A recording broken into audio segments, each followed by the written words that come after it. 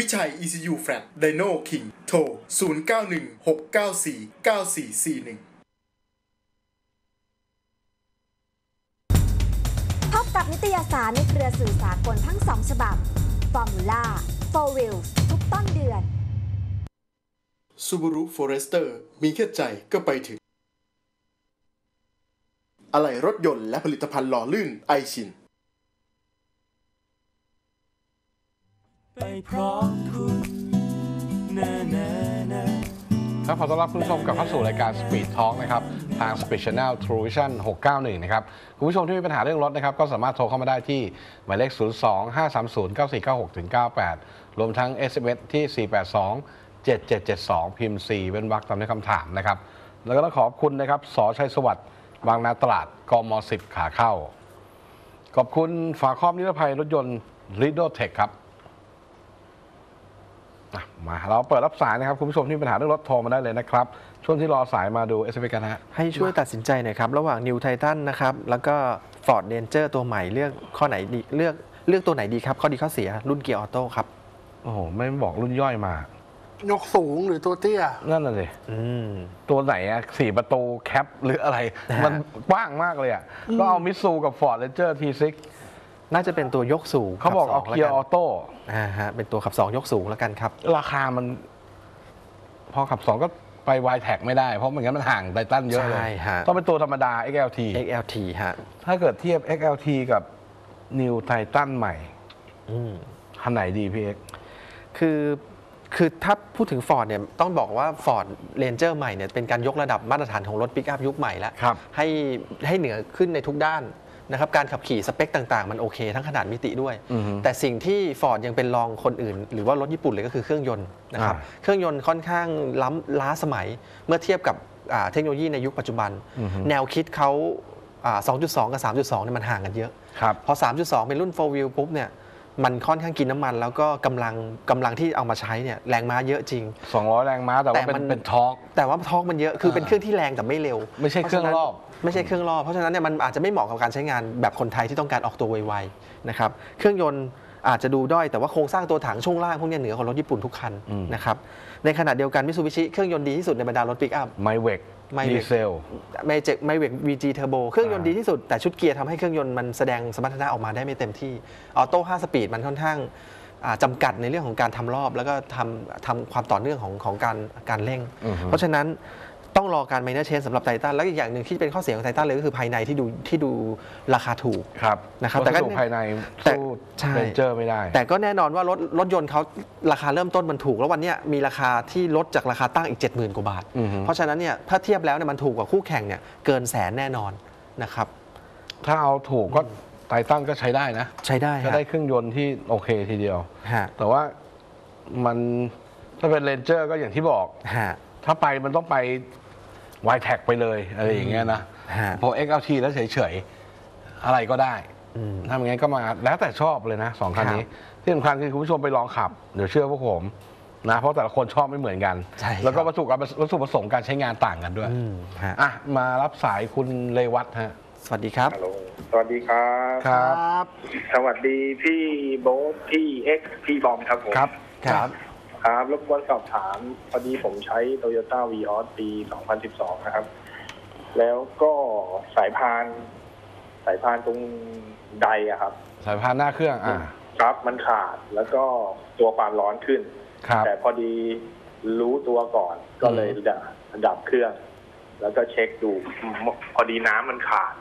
ครับผมเอ่อแล้ววิก็เปลี่ยนครับ ครับผม เปลี่ยนสายพานเรียบร้อยแล้ว อือฮึ แต่ว่าน้ำ น้ำในหม้อน้ำอะครับ มันแห้งไปอือฮึแล้วก็เลยเอาน้ำเปล่าเติม แล้วก็จะมีอีกช่องหนึ่งใช่ไหมครับ มันเป็น oil cooler หรือเปล่าครับด้านหน้า ออยเกียร์ป่ะฮะ ด้านล่าง ไม่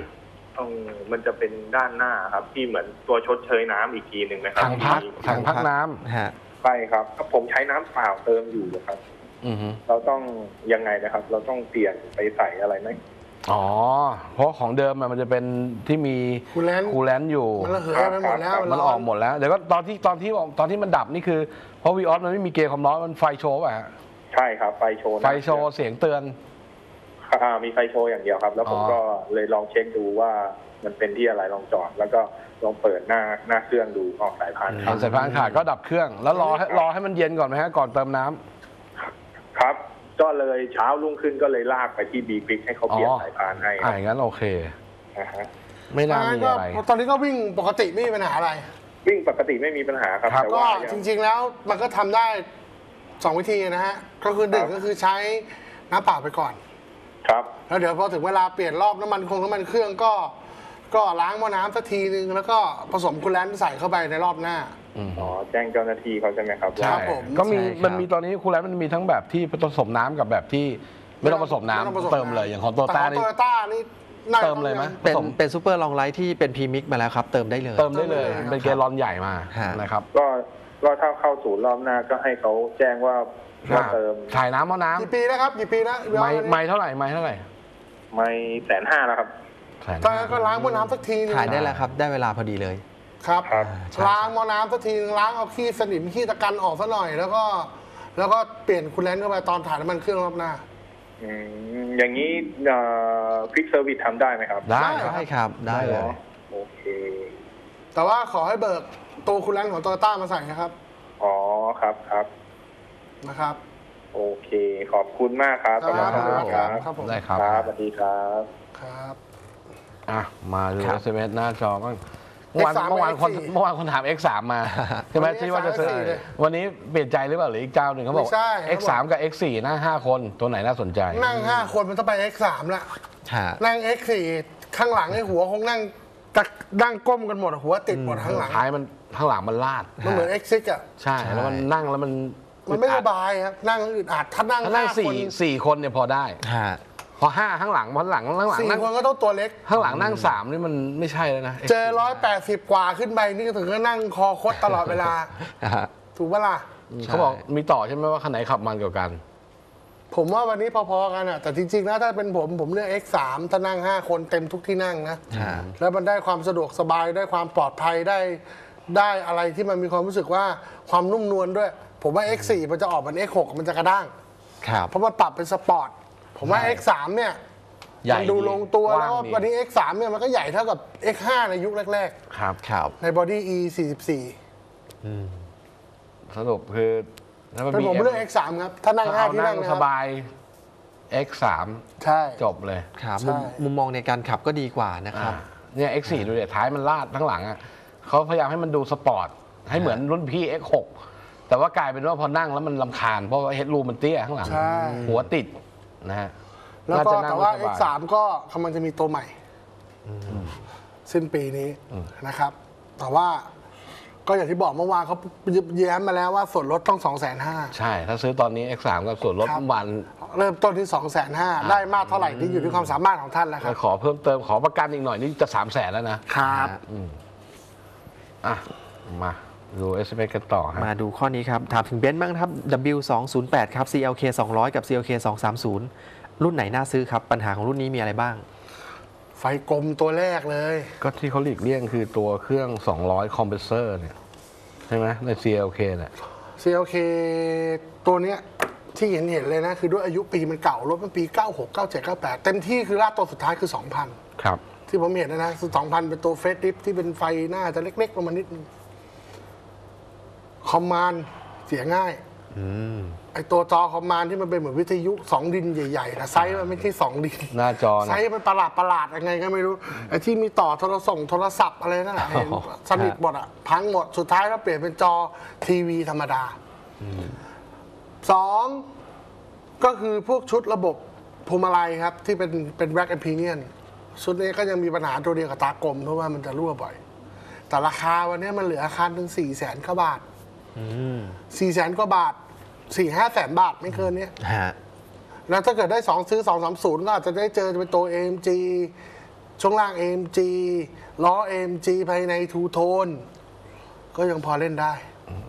แต่คอมเพรสเซอร์ดังหมดแล้ว ถ้าก็ตามอาอายุยุอะ ได้แล้วเพราะมันแสนกว่าโลแล้ว ตอนนี้ก็ ก็ต้องไปเปลี่ยนพวกลูกปืนคอมก็คือซ่อมซ่อมได้ ซ่อมได้ ไม่แพงแล้วเมื่อก่อนแพง ครับ เมื่อก่อนคนโถคอมดังนี่สะดุ้งเลยใช่ ตอนนี้ซ่อมไม่กี่หมื่นแต่เดี๋ยวนี้ซ่อมได้แล้ว แล้วก็ระบบเกียร์ยังเป็นระบบธรรมดาอยู่ก็ไม่เท่าไหร่ ครับอะประมาณนี้อาจงั้นจะต้องเก็บสภาพนิดหน่อยนะครับหาสวยๆเทพๆหายากพอสมควรเหมือนกัน CLK ตากลมตัวแรก ต้องย้ำอีกทีรถเบนซ์ไม่เหมือนรถญี่ปุ่น วิธีเลือกก็คือสีรถต้องดี ครับ นะเพราะมันไม่ทำหนักไม่ไม่ต้องเก็บทำแล้ว เพราะว่าซ่อมแพงภายในต้องสวย ภายในต้องสวย เพราะว่าซ่อมแพงเหมือนกัน จ้ะอย่าไปคิดเอ้ยเบาะเบาะขาดนิดหน่อยไม่เป็นไรซ่อมได้โหเครื่องช่วงล่าง ไม่เหมือนรถญี่ปุ่นนะ จ้ะเครื่องช่วงล่างไม่เป็นไรขอบอดี้ดีไว้ก่อนสีบอดี้ดีสวภายในสีอ่าภายในดี อ่า ไม่เน่าไม่โทรมถึงบอกจะไม่เหนื่อย เน่า นะอะเดี๋ยวไปพักเบรกโฆษณากันสักครู่ ช่วงหน้ากลับมากับรายการ Speed Talk ครับ ไปพร้อมคุณนานานานานา